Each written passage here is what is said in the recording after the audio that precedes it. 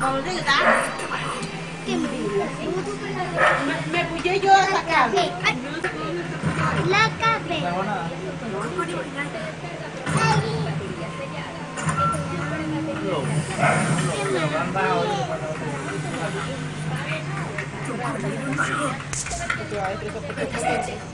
ようやくここまで来たのよ